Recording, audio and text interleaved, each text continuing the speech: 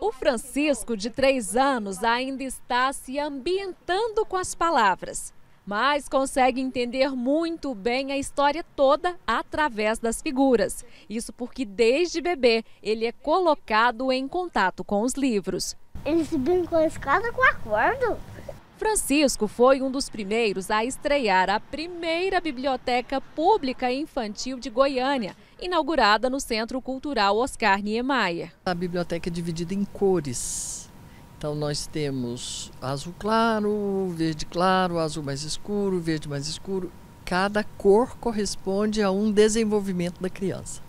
São 11 mil livros. A biblioteca funciona das 8 às 6 da tarde, de segunda a sexta. Sábados, domingos e feriados, das 10 da manhã às 4 da tarde. São obras de Drummond, com ilustração de Ziraldo, Camões, Fernando Pessoa, Machado de Assis, Lima Barreto em quadrinhos. Até Beatles em quadrinhos tem.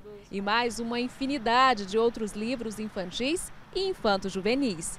Foi bom para eu trazê-lo aqui hoje para que ele já comece a, a frequentar, né, e a biblioteca e veja a importância. Além das grandes obras, o diferencial dessa biblioteca é a inclusão para despertar a leitura em todos os públicos. Um exemplo livros de tecido para os bem pequenos, né, que não estão ambientados ainda com papel.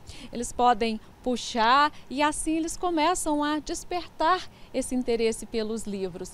Tem também esse aqui em braille. Além da escrita, a figura todas as figuras, na verdade, do livro são também em braille, né? Para a criança que não enxerga realmente saber aquilo que ela tem nas mãos. Se você começar desde pequena a ensinar uma criança a frequentar uma biblioteca, a folhear um livro, você está criando o leitor.